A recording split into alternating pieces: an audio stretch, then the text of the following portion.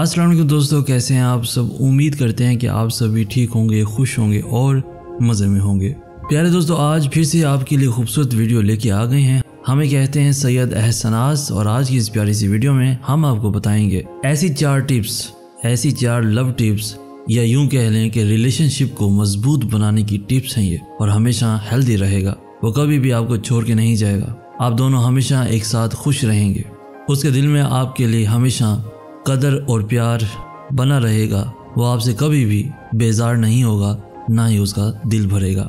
Video में आगे बढ़ने से पहले आपसे गुजारिश इतनी सी है कि हमारे इस चैनल को लाजमी सब्सक्राइब कीजिए, साथ ही मौजूद बेल के बटन को लाजमी प्रेस कीजिए, ताकि तमाम आने वाली खूबसूरत वीडियोस आपको बर वक्त हासिल होती रहें। तो दोस्तों, आज की इस वीडियो में ऐसी चार टिप्स बताऊँगा, सिर्फ़ और सिर्फ़ चार टिप्स, जिससे आपका रिलेशन, कोई भी रिलेशन हो या लव हो तो हमेशा हमेशा के लिए आपके साथ जुड़ा रहेगा, आपको छोड़ेगा नहीं, आपसे बेजार नहीं होगा। आपको ये कन्फ्यूज़न नहीं होगी कि ये मेरे साथ ज़िंदगी भर मुखलिस रहेगा या नहीं रहेगा। दोस्तों, सबसे पहली टिप जो है, वो ये है कि हमेशा अपने पार्टनर के साथ ईमानदार बने रहें। हम किसी के साथ भी रिलेशनशिप में आते हैं तो उसकी केयर की ज़िम्मेदारी हम पे आती है। हमको चाहिए कि हम उसका ज़्यादा से ज़्यादा ख्याल रखें, ईमानदारी से।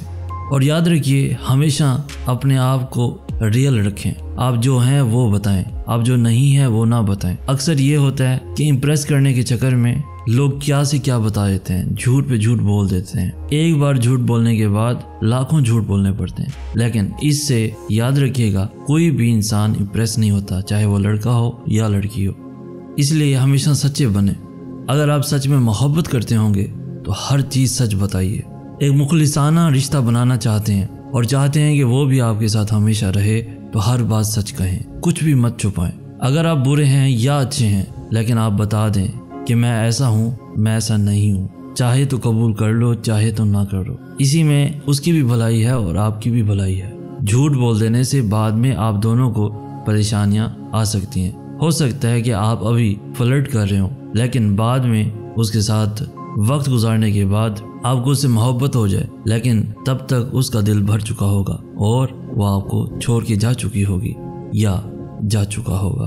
तो बेहतर है कि शुरुआत ही सच्चाई से करें, ईमानदारी से करें और मुखलिसाना करें।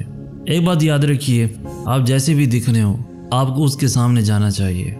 पता तो चले कि वो आपकी खूबसूरती से प्यार करती है या करता है या सीरत से प्यार करता है।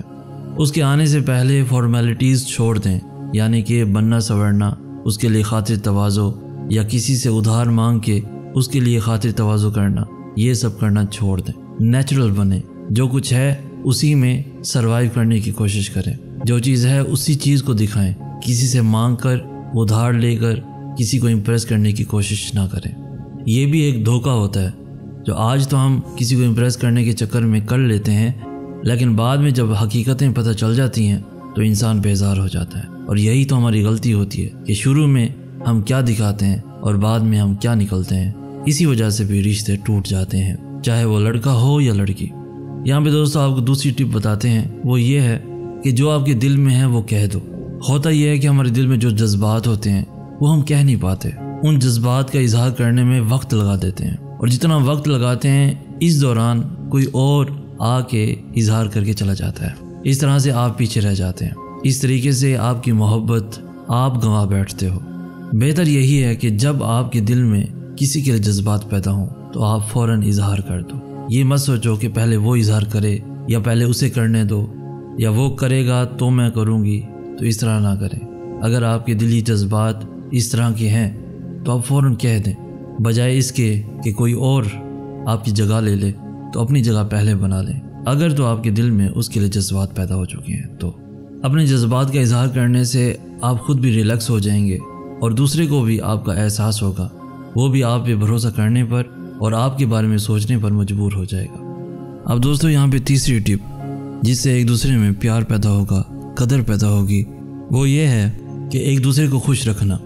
छोटी छोटी खुशियों से ही रोशन मुस्तकबिल, रोशन मुकदर बनते हैं। दोस्तों, एक दूसरे के साथ हर पल को इंजॉय किया करो। एक दूसरे के साथ हर पल मोहब्बत के तौर पे गुजारा करो। सिर्फ़ एक दूसरे को आई लव यू कहने से या इजहार करने से कुछ नहीं होता।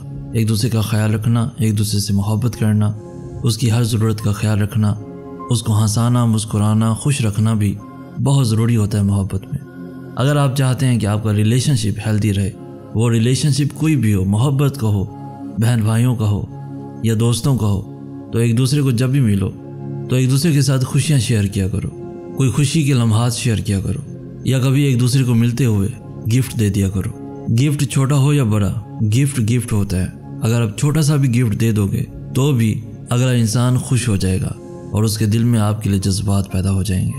वो आपसे मोहब्बत करने लगेगा और आपसे प्यार करने लग जाएगी या लग जाएगा। इस तरह से दोस्तों, हर लम्हे को रिकॉर्ड करो। अपने पास सेव रखो, ताकि बाद में उसी दिन को, उन पलों को याद करके, उन पलों को देख कर दोबारा से खुश होने का एक दूसरे को मौका फराहम करो। इस तरह से आपका रिलेशन खुशहाल रहेगा हेल्दी रहेगा और एक दूसरे के साथ जुड़ा रहेगा। अब दोस्तों, यहाँ पे चौथी टिप ये है कि एक दूसरे के साथ जितना हो सके कंप्रोमाइज़ करें। अगर एक बात आपको अच्छी नहीं लगती और उसको अच्छी लगती है तो आप मान जाएँ और उसकी खुशी पर राज़ी हो जाए। इसी तरह से जब आपको कोई अच्छी बात लगे और उसको ना लगे, तब वो मान जाए। इस तरह से कंप्रोमाइज़ आपस में बना रहेगा। एक दूसरे की बात मानना, ये भी मोहब्बत का बहुत बड़ा सबूत है। एक दूसरे की बातों की कदर करना, एक दूसरे का लिहाज रखना, ये भी बड़ा कंप्रोमाइज़ होता है। मोहब्बत का मतलब भी यही होता है, एक दूसरे के साथ बनाए रखना, एक दूसरे को समझना, एक दूसरे के साथ कंप्रोमाइज़ करना। अगर आप चाहते हैं कि आपका रिलेशनशिप हमेशा कायम रहे, इसमें मोहब्बत का कायम होना हमेशा रह जाए तो कॉम्प्रोमाइज़ ज़रूरी है। कभी अपनी बात मनवा लेना, कभी उसकी बात मान लेना, बहुत ही ज़रूरी है। इस तरह से आपका प्यार बढ़ता रहेगा, कभी भी कम नहीं होगा। एक दूसरे की इज़्ज़त करना, एक दूसरे की ज़रूरत का ख्याल रखना, ये भी मोहब्बत का ही सबूत है। तो दोस्तों कमेंट सेक्शन में हमें ज़रूर बताइएगा कि आज की ये चार टिप्स आपको कैसी लगी। यकीन करें दोस्तों, अगर इन चार टिप्स पे आप अमल कर लेते हैं तो इन ताला आप दोनों ही एक दूसरे के साथ खुश रहोगे और आपका रिलेशनशिप हेल्दी रहेगा। इस वीडियो को लाइक करके हमारी हौसला अफजाई भी लाजमी कर दीजिए। इस वीडियो से अगर आपको कुछ सीखने को मिला हो तो अपने दोस्तों के साथ इवन फैमिलीज़ के साथ भी लाजमी शेयर कीजिए। रोज़ाना ऐसी खूबसूरत वीडियोज़ के हसूल के लिए हमारा चैनल भी ज़रूर सब्सक्राइब कीजिए। हमें कहते हैं, सैयद एहसनास हम मिलेंगे नेक्स्ट वीडियो में। तब तक के लिए, अल्लाह आपका हामी नासिर।